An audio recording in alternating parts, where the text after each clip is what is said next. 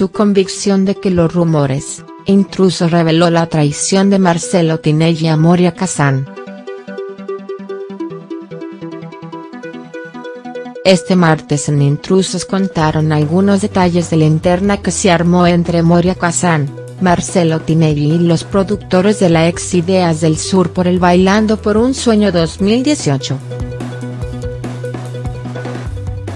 Mira el video al final de la nota.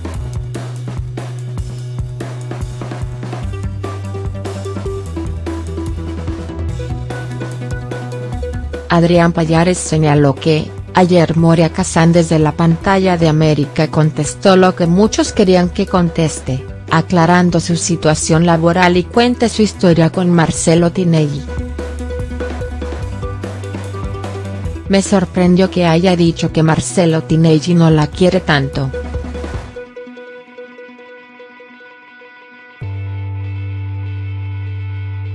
Marina Calabro consideró que, está atada a otra cuestión, cuando dice el día que agarró el micrófono y lo salvó, y es un órgano sexual para él.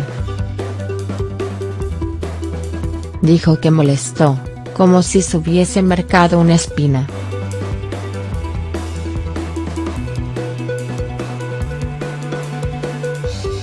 Silvina Escudero, invitada al programa, indicó que, dice que la información que diferentes panelistas dijeron salió de la entraña del ex Ideas del Sur.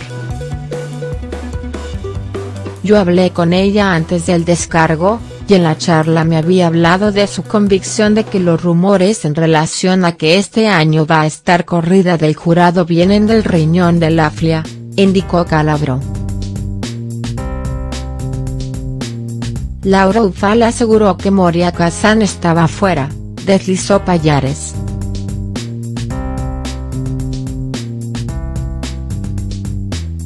Y algo había dicho Ángel de Brito, agregó Calabro.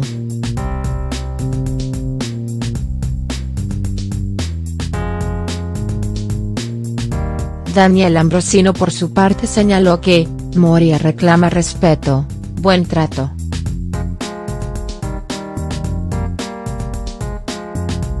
Si tiene la decisión de que no esté más en el jurado, un llamado de Marcelo Tinelli diciéndole que no va a estar.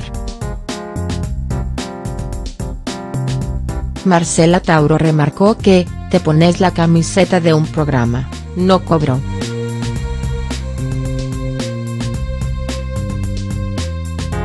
Cuando te lastiman todo suma. Calabro agregó que, el Chato Prada le dijo que eso no salía de la aflia.